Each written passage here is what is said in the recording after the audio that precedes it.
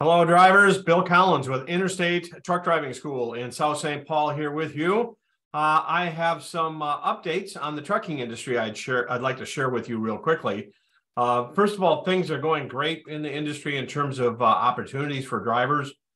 So I'd like to share with you what's uh, what's going on a little bit uh, in our marketplace here in South St. Paul with job opportunities at present. So what I'm showing you now are job opportunities at Schneider right now.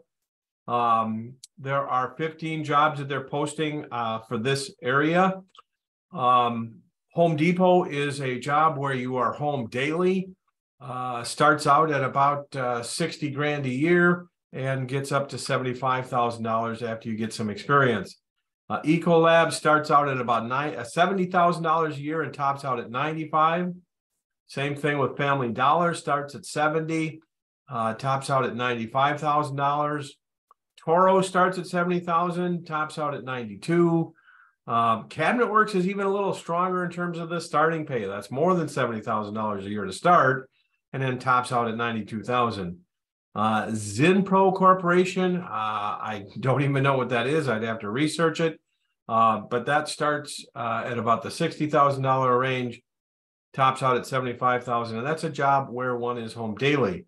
There's a local intermodal truck driver position that's a home daily. Uh, Marvin Windows tops out at 85,000. Uh, there's an over the road position, home every other week, 82,000 top. Uh, another regional van load uh, starts out at 50 grand, tops out at 82. Uh, regional uh, home weekly topping out at 75. Team van truckload driver. Look at this, drivers. The top drivers on this position are making $103,000 a year, uh, starting out uh, more than uh, $70,000 a year. There's a job with Byracon that tops out at $98,000 a year and just doing the math here real quickly, fourteen fifty a week. Uh, that's starting pay of seventy-five thousand dollars a year. Toro ninety-two thousand. So here's the point: there are a ton of really good paying jobs out there right now. Uh, here at the beginning of uh, 2023.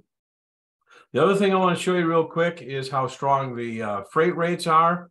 Uh, these are the um, uh, spot rates, uh, you can Google these. Uh, the, these spot rates change constantly.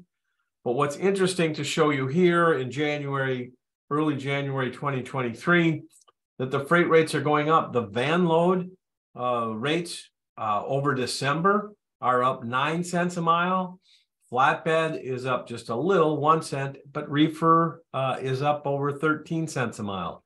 Now, freight rates going up like this this time of year is awesome. Uh, fuel prices are going down.